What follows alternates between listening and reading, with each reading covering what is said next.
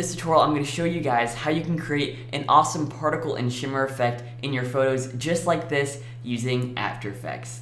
Let's get started.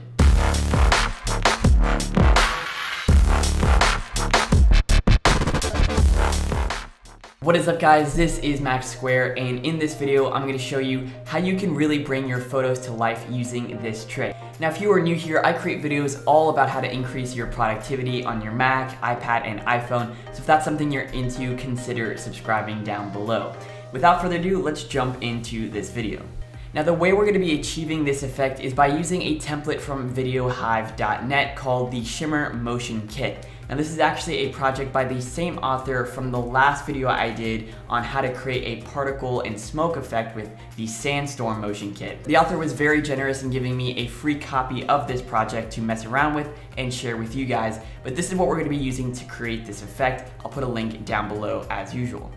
So once you have finished downloading the file, you can just unzip it there and then you'll see that we have two folders inside here. We have a Shimmer AE install and a Photoshop action. So basically that means that you can achieve the exact same effect using either software. So maybe if you don't own After Effects, you don't own Photoshop, maybe you don't know how to use one or the other, you can do the exact same thing. They provided templates for both and they even have support all the way back to Photoshop CS3, which is crazy. That was like before my time.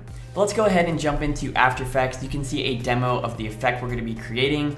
And it's actually really easy to set up. It's a very similar process that we went through in creating the sandstorm effect in my last video.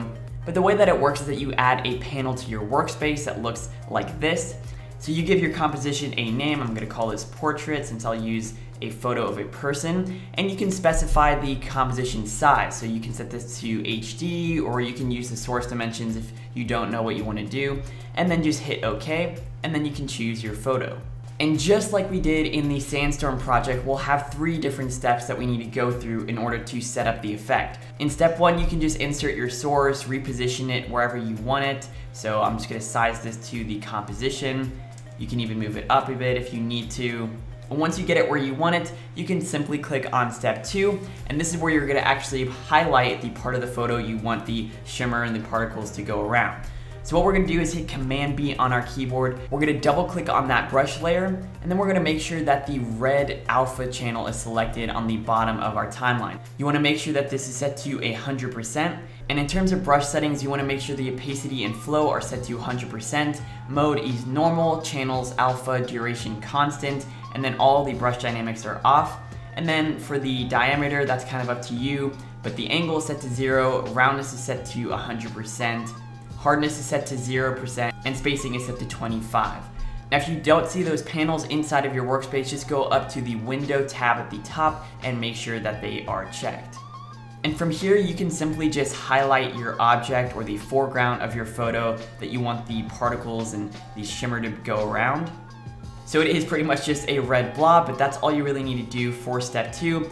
And when we go to step three, we're actually just gonna do the same thing. So again, make sure your brush is all set to the same settings and then just highlight your object again. And the reason you have to do this twice is that After Effects just needs to know what the foreground is. In this case, it's the person standing in the hallway. The hallway is our background. And then secondly, it just needs to know where to put the particles.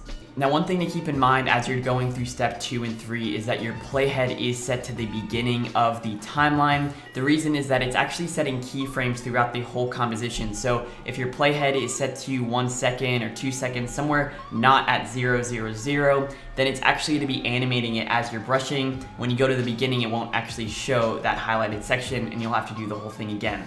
So keep that in mind as you're going through these last few steps. But once you are done, you can skip to four seconds where that edit here marker is, and you'll get a preview of the effect.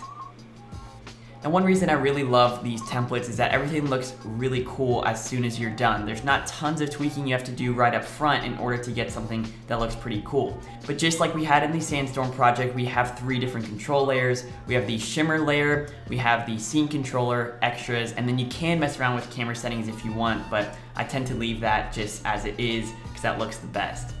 So in the first layer, you can control things like the particle size, the opacity, and also the different ranges you'll see that we have a couple different layers of particles. First, immediately around the object, we have these tiny particles around the shimmer, and then we have the majority of the particle particles. And then we have the majority of the particles in focus, and then there are a couple out of focus, and so those are the two different ranges for the inner and outer. And you have full control over the opacity and how much it's actually generating.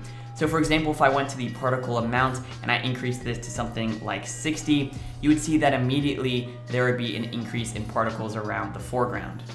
Now the scene controller layer is really setting things like the colors and the different background blurs and tints, and you have a ton of control again. Now by default, it's applying the color one filter. You do have actually 10 different options. I think the first one looks the best, but obviously you can adjust this depending on your scene. But one thing I don't like about these filters is how intense it looks, but what's nice is you can actually control the opacity. So I do like to use these in moderation, kind of like a LUT. I set it to something like 50%, and then it looks a little bit more natural. Now again, you can spend as much time as you want tweaking all these settings, but you can see how cool the effect looks with just a couple of minutes of work. Now if we go to the render folder, you'll see we have five different compositions, and these are the different video templates we can export our photo into. So in the hit impact, it looks something like this. You'll notice we have this colorful moving background, and you can actually control those colors. If you bring up the background controller, you can set those five different colors to something that matches the photo. So we have this kind of tan color, which doesn't really match the photo too much. So I could pick up that eyedropper tool, maybe pick the yellow in her scarf, and then pick another color and maybe pick the blue, and you can see it's starting to match the photo a little bit more. The second template is the in loop out, so it just kind of loops through the effect and then goes back out. The loop composition is pretty self-explanatory. For the reveal, we have an effect that looks something like this.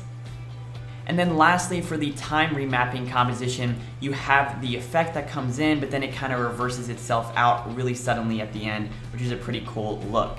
So that's pretty much all you have to do in order to use this template and to get this awesome look on your photos. I really think this project as well as the Sandstorm template are a really cool way to bring your photos to life. You know, maybe you have a photo that you're gonna post to Instagram or share it somewhere online and you really want it to stand out, you could use one of these effects in a video format and people will be really intrigued.